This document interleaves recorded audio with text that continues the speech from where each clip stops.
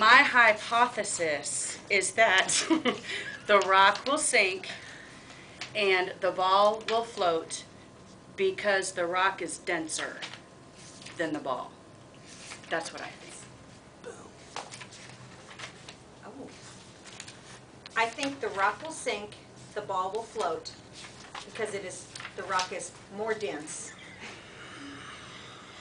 than the ball is.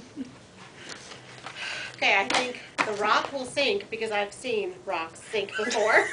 I'm so and I think that the ball will float because I think there's some air stuff going on inside there.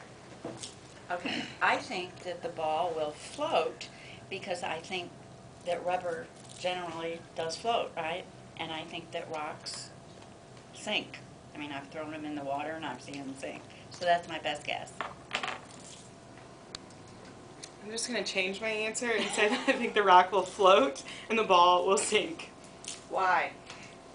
because Justify your answer. Yes. Three details, please. I don't want to give you three details.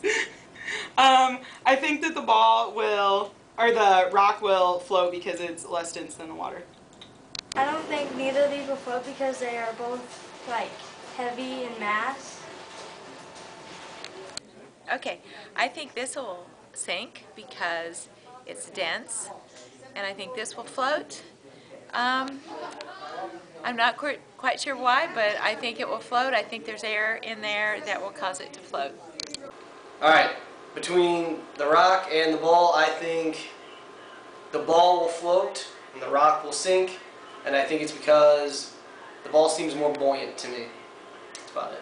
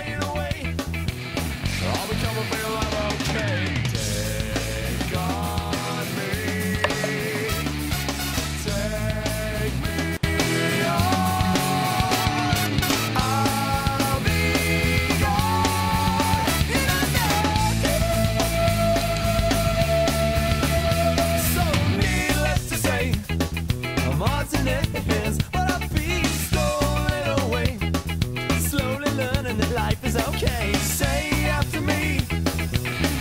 Better to be